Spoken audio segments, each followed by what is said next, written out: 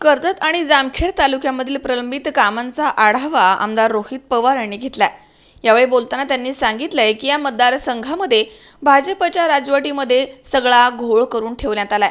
कुठल्याही गोष्टीचं नियोजन या ठिकाणी नव्हतं. या ठिकाणी अधिकारी देखील लवकर काम करण्यासाठी येत नव्हते मात्र आता ही सर्व पद्धत यापुढे बदलली जाईल.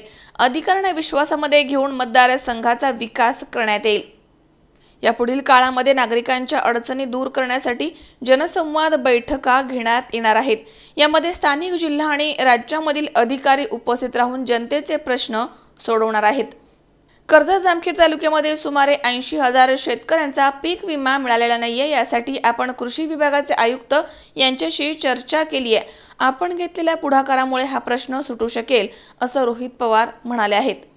तो येईल. त्या बाबतीतली चर्चा त्या ठिकाणी माझी स्वतः कमिशनर साहेबांची आली आणि माझा पाठपुरा चालू आहे.